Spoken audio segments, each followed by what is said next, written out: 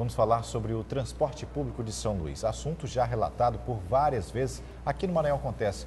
Levamos ao telespectador como é difícil a tarefa na vida de uma pessoa que utiliza este serviço público pelas ruas e avenidas da capital.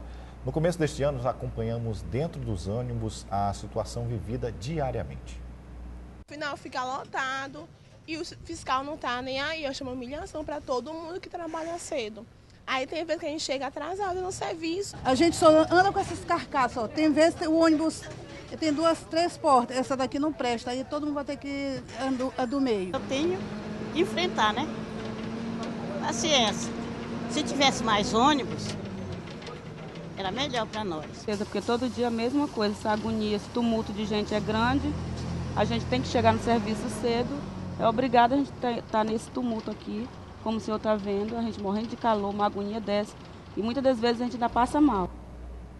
A Prefeitura de São Luís resolveu agir e iniciou a fiscalização de ônibus que circulam pelas avenidas. Vários itens vão ser averiguados e o caso dos veículos que estejam fora dos padrões vão ser retirados de circulação. Mesmo com as reclamações, alguns usuários do sistema de transporte acreditam que tudo pode melhorar.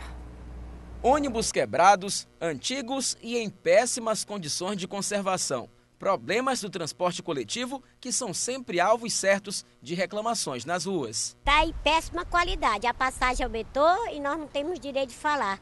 Mas eu tenho uma pequena esperança que vai melhorar. Ônibus caindo aos pedaços, é, a frota muito antiga. Hoje São Luís possui 1.180 ônibus em circulação. A maioria deles possui 5, 10 e até 16 anos de uso diante de ônibus tão antigos, a Secretaria Municipal de Trânsito e Transporte começou um processo de vistoria que vai rever itens de segurança, limpeza e conservação dos veículos. Os que forem reprovados serão tirados de circulação das ruas. Segundo o secretário municipal de Trânsito e Transportes, esta é uma forma de tentar amenizar os problemas do transporte coletivo em São Luís. Nós estamos vendo toda a mecânica, nós estamos vendo ah, os pneus, nós estamos vendo a parte de limpeza dos terminais, que muitos reclamam tem encontrado até rato dentro do, do, do ônibus.